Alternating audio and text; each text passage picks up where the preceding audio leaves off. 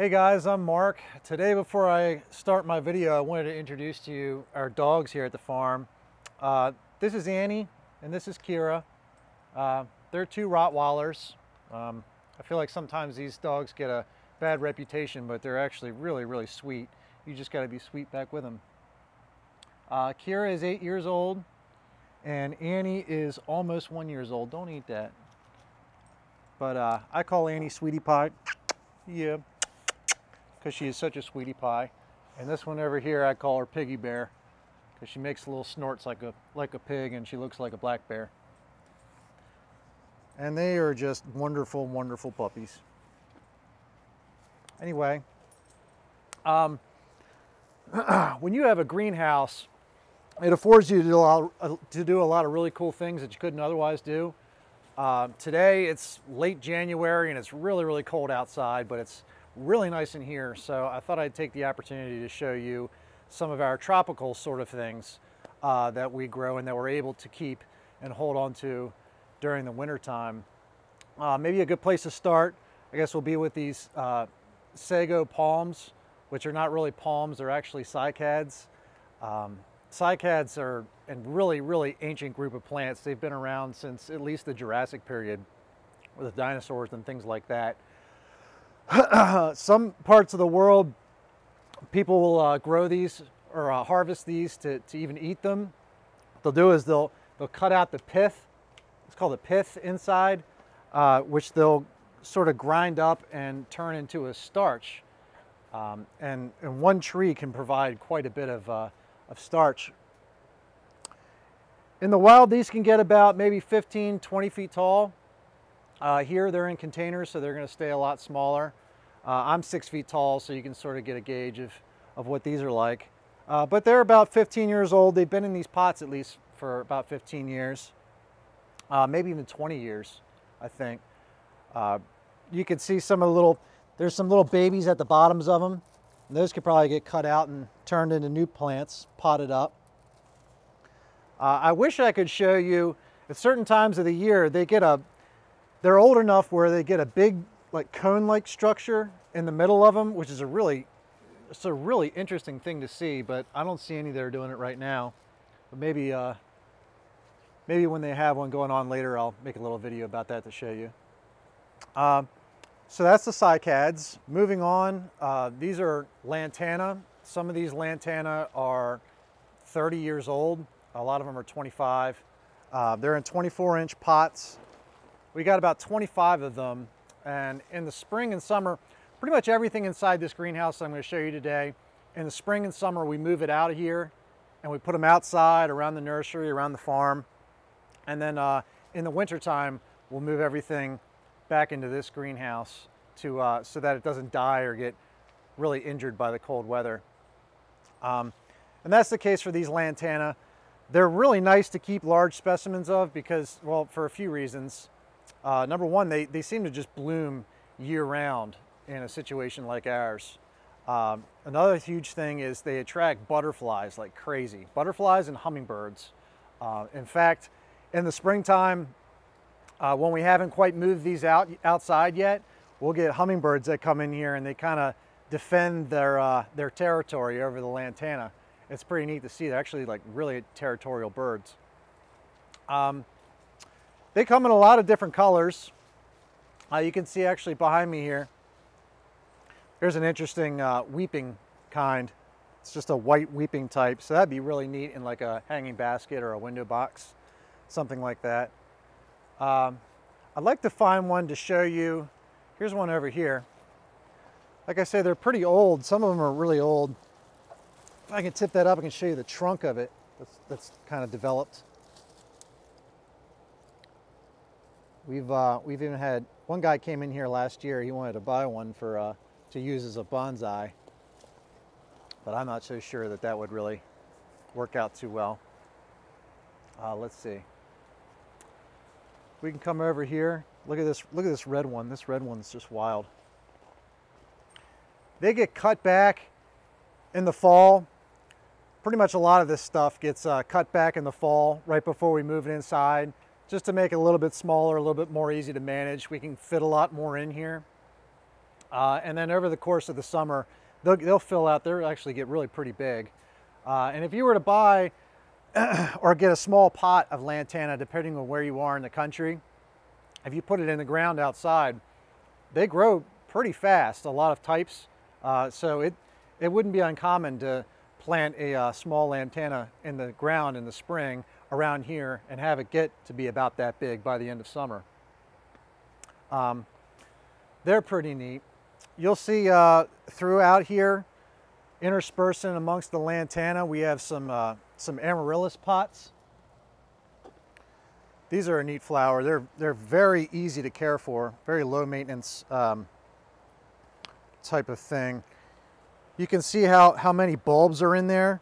A lot of these, um, there's about 20 pots in and throughout here. And a lot of these have been in these exact pots for maybe 20 years or more, which actually, which actually helps them out. They seem to do better once the bulbs start to divide and they kind of compete with each other like this. Um, you can see they're like, they're like little onions. And they just kind of, I guess they, they press up against each other and they can kind of feel that competition, which, um, which encourages a really strong plant. Typically, they'll all be in bloom around Easter. Right now, we just have a few plants that are kind of coming in early, but uh, around Easter time, some of these pots will have as many as like 40 or 50 blooms on them at the same time. Um, so maybe I'll do a, will uh, do a little video later in the spring when that's going on and kind of show you how they work and how they look. Uh, customers just go wild for them. It's a ton of color. Anyway, let's move on down this direction. Uh, over here, we have some of our fig trees. Uh, a lot of people call these ficus trees. Uh, you see them in, in malls a lot. Ficus is just a Latin name for fig. Uh, there's, there's hundreds and hundreds of different kinds of ficuses. This is a ficus benjamina or a Benjamin fig or a weeping fig, a lot of people call them. And uh, yeah, you'll see them a lot in malls. Uh, much bigger than this in a lot of cases. Um, in the wild, this tree can get to be about 60 feet tall and even wider than that. Uh, they get a real big spread on them, which I've never seen one, but I really would like to because I bet that looks pretty wild. Um, the claim to fame for this, or what I think one of my favorite features about it, is it has just such uh, pale bark on it. The, uh, the, the, tree itself and the wood itself is really light against the, the really dark colored leaves. It's a really pretty interesting contrast. It does get berries on it, or figs on it, but they're very, very small. Um, and they're really hard. So I don't know if you could eat, I guess technically you could eat them maybe, uh, but in the wild on a, on a much bigger tree, it's probably a different, the, the, fruit probably comes out a little bit of a different way. I, I wouldn't know. Uh, but these particular trees are about 30 years old, or they've been in these pots for about 30 years.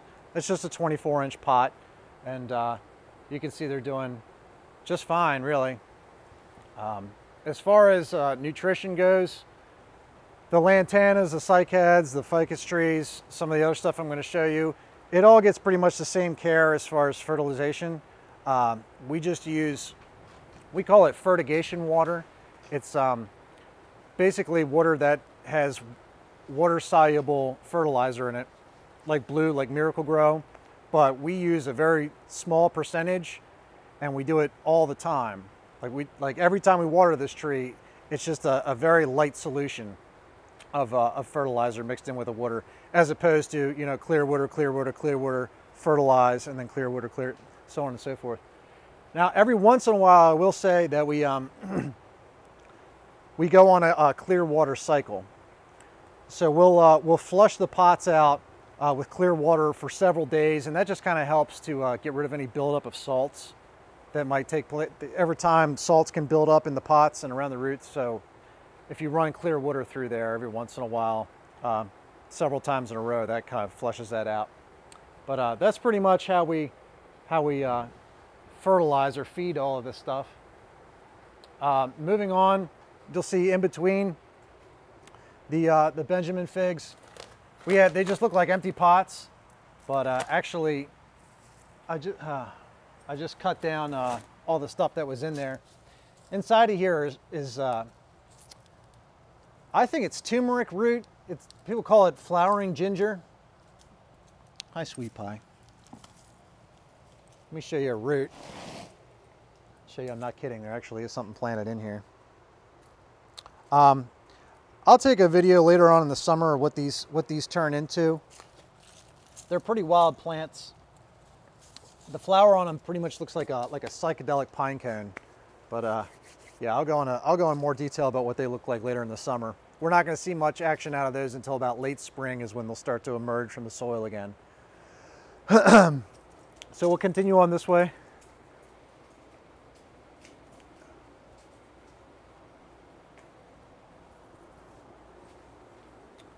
Uh, over here and behind me is another type of fig.